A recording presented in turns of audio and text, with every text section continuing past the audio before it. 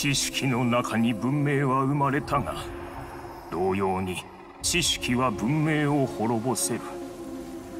災難は知らずのうちに降臨した。それはこの世界に属さぬ知識。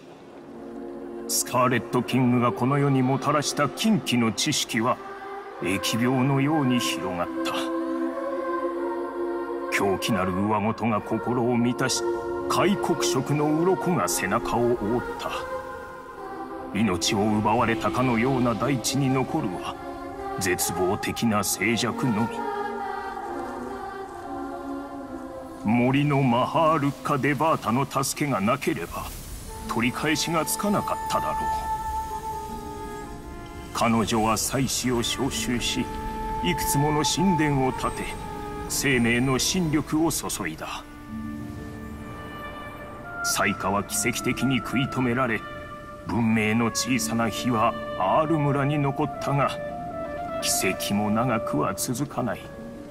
近畿の知識が存在する限りそれは永遠に世界の病巣となるだろう。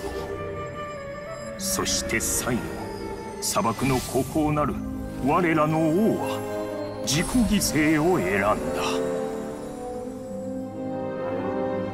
私は数ある神殿の一つを守ることに余生を費やしたがその責務もついに終わりだ。